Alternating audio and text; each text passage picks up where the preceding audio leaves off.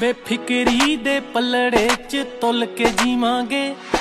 ਛੋਟੀ ਜਹੀ ਜ਼ਿੰਦਗੀ ਨੂੰ ਖੁੱਲ ਕੇ ਜੀਵਾਂਗੇ।